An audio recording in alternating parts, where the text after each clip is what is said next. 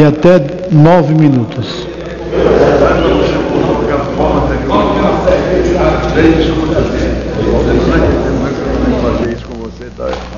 Continua me mandando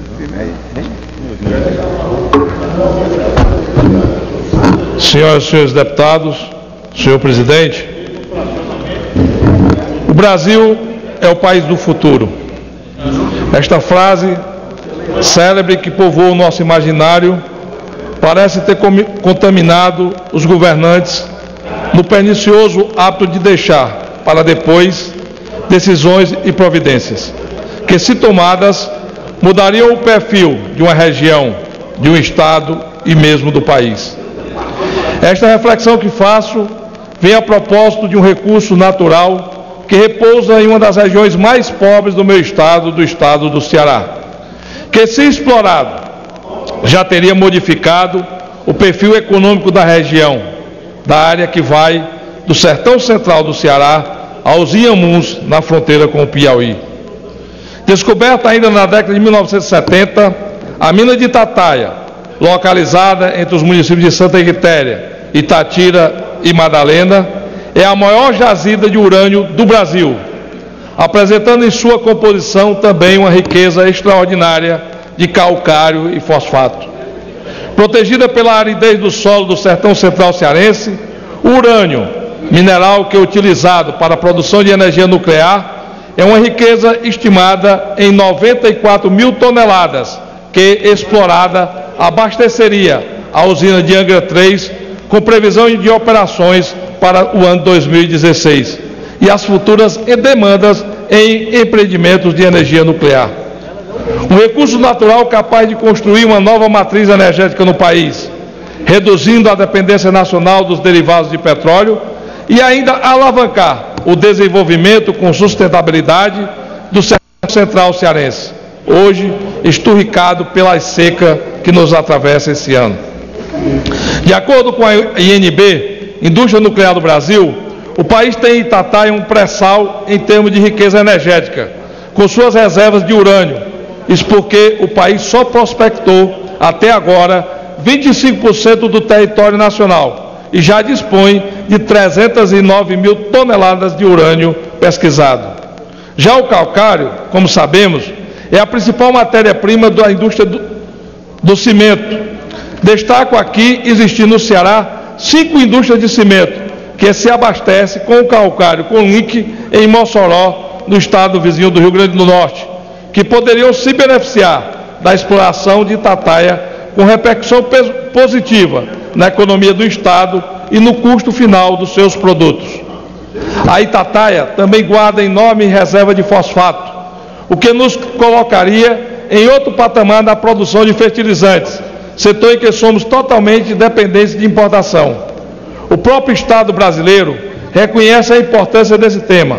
O Ministério da Agricultura tem um Plano Nacional de Fertilizantes e um de seus principais objetivos é justamente substituir segundo as palavras colhidas na página eletrônica do Ministério, diminu, entre aspas, diminuir a dependência externa da agricultura brasileira de matérias-primas com maior produção interna até o final desta década. A estratégia envolve o estímulo à busca de novas jazidas, bem como a exploração daquelas já avaliadas e conhecidas de fósforo e potássio. Ora, se é verdade que o incremento da produção de fosfato é tida como um dos objetivos do governo, só encontramos na prática do adiamento no exercício nacional de empurrar com a barriga. Me perdoe a expressão. As idas e vindas da exploração da gasina de Tataia, o projeto Santa Quitéria, como chamamos hoje, no momento em que assistimos à luta do governo contra a inflação, a sensação que temos de voltar a enxugar o gelo. Apesar da importância para a economia brasileira, 70% dos fertilizantes utilizados na agricultura são importados e chama a atenção para a escalada assustadora de preços de fertilizantes no Brasil e no mundo. E o que é mais perverso, a alta dos custos desses insumos tem um potencial de impactar no preço dos alimentos, onerando ainda mais as famílias mais pobres em árdua tarefa de sobreviver dignamente. Impacta até mesmo nos preços dos combustíveis, já que o setor sucalcooleiro, que faz uso dos fertilizantes em sua lavoura, no final das contas, a escassez do fosfato pode contribuir até mesmo para a elevação do preço do etanol, a elevação da inflação que o governo tanto tenta debelar. Chama a atenção ainda para outro fator importante. No momento em que o Brasil assiste às gigantescas filas de caminhões nas cercanias dos portos, no momento em que a crise dos portos brasileiros e a insuficiência de estradas de acesso aos terminais chegam a níveis alarmantes. É interessante registrar que o incremento na produção nacional de um insumo que é quase que totalmente importado auxiliará também na redução da pressão sobre os principais portos do país. Como se vê, senhor presidente, senhoras e senhores deputados, só temos benefícios com a exploração desta jazida. Benefícios para a população local, com oportunidade de emprego numa região tão esquecida. Benefícios para o desenvolvimento regional, com o incremento de atividades econômicas. Benefício para o Estado, que passará a recolher mais tributos. Benefício para o Brasil, com o incremento da produção de calcário, de urânio, de fosfato, de fertilizante. Benefício para a atividade rural, que poderá contar com mais uma fonte de fosfato, a qual poderá trazer os preços de fertilizantes para patamares mais sensatos. Enfim, senhoras e senhores deputados, benefícios para toda a população brasileira. Assim não se justifica que o início das atividades continue sendo protelado, sine die, com prejuízos incalculáveis para a nossa nação e para a nossa região. Registro que, em 2005, no primeiro governo do presidente Lula, coordenei um grupo de trabalho por indicação do então ministro das Relações Institucionais, deputado Aldo Rebelo, que, conjunto com a INB, formatou o modelo de exploração da Gazeta de Itataia.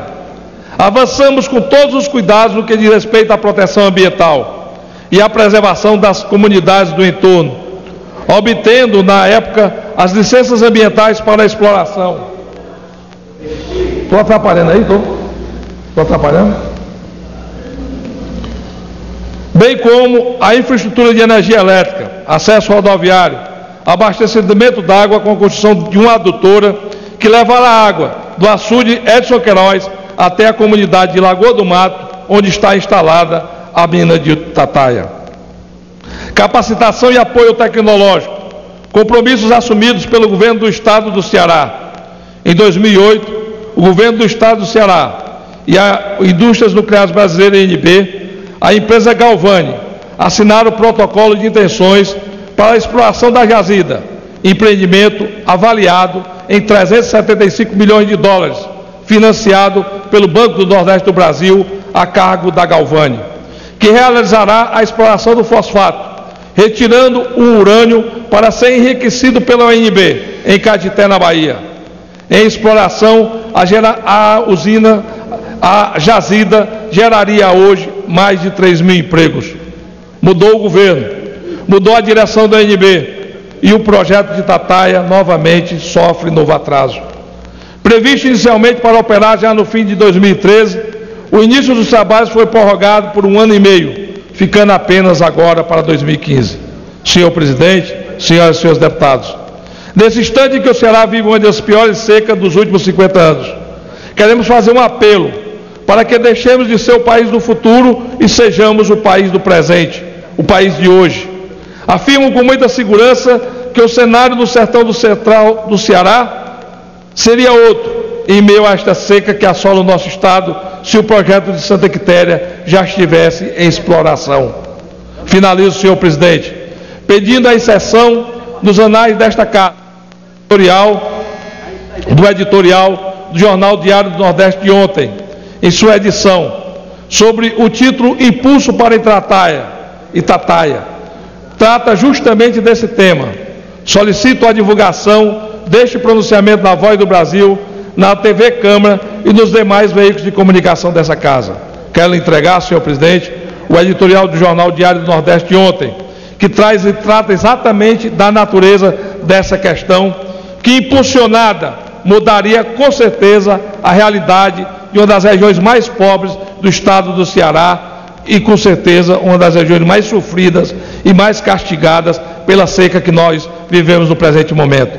É hora, é momento desta casa e do governo federal viabilizarmos um projeto que já está aí há quase 40 anos descoberto de uma riqueza fantástica e que até hoje o povo dela. Muito obrigado, senhor presidente.